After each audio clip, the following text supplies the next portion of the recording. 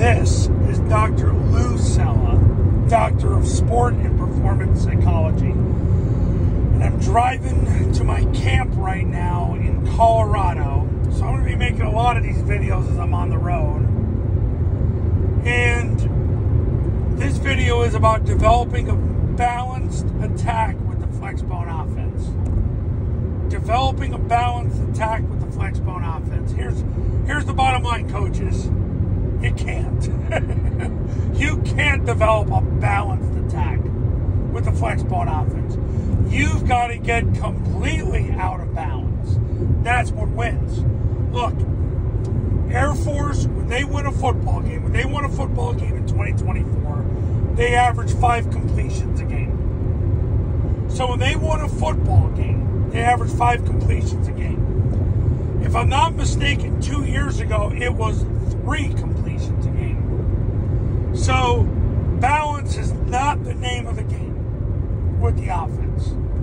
So, like, if you think you're going to create a 50 50 offense, you're going to sling the ball around 25 times. You're not. Not if you want to win. So, you've got to get completely out of balance. There's never a game where Air Force throws the ball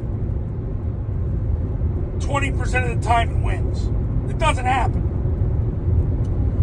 They win when they get zone dive going. If they don't get zone dive going, something else needs to happen, whether it's mid triple or the trap pops open or the defense pitches a shutout. But you've got to get completely out of balance when you run the flexbone offense because you've got three plays you're going to run 30 times a game zone dive, mid triple, and trap.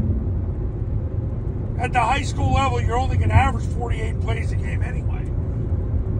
So, if you take zone dive, mid triple, trap, and rocket toss, you're looking at around 35 plays a game. So, doesn't leave a lot of room left for passes because you still got a quarterback sneak victory formation, spiking the ball.